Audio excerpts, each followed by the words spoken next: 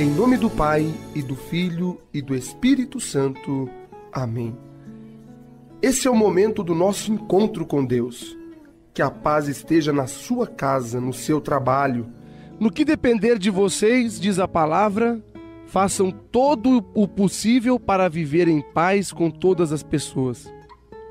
O Padre Alessandro, sempre que está celebrando ou fazendo shows, faz um questionamento às pessoas. Quem tem a Bíblia em casa? Quem tem a palavra de Deus na cabeceira da sua cama? Quem tem o livro da vida aberto na estante da sala? Muitos levantam a mão. Mas quando o padre pergunta: quem lê e medita esse livro? São muito poucos, pouquíssimos que respondem sim. Então eu te digo: quantos livros de cabeceira você lê? Você lê em tantos livros sobre a paz e continua vivendo sem paz. É porque você ainda não leu o verdadeiro livro da vida que te ensina a ter paz e que está tão perto de você. É a palavra de Deus, a luz que guia os seus passos. Mas, padre, a Bíblia é difícil de entender. Não, não é não. É só você ter o coração aberto para aceitar o que Deus vai falar com você, que muitas vezes te parecerá difícil.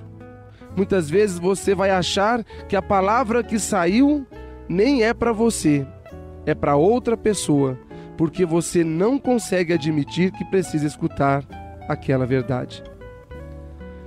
A palavra de Deus é a verdade. Jesus Cristo diz para mim, para você, eu sou o caminho, a verdade e a vida. Muitos de nós não gostamos ou temos medo de escutar a verdade, porque a verdade nos libertará. Fará com que obrigatoriamente tomemos uma atitude. Hoje você pede a Jesus a paz, precisa de paz? E ele te responde na palavra que diz: É a minha paz que eu lhes dou. Não fiquem aflitos, nem tenham medo. Disse e diz Jesus pela saúde e pela paz na sua família. Reze pedindo com o Padre. Ave Maria, cheia de graça, o Senhor é convosco. Bendita sois vós entre as mulheres, e bendito é o fruto do vosso ventre, Jesus. Santa Maria, Mãe de Deus, rogai por nós, pecadores, agora e na hora de nossa morte. Amém. Então, neste momento, Neste momento de oração, junto com o Padre, você vai pedir a proteção de Deus sobre a sua vida nesta sexta-feira. Senhor Jesus Cristo, derrame a sua bênção sobre todos estes teus filhos que nos acompanham agora.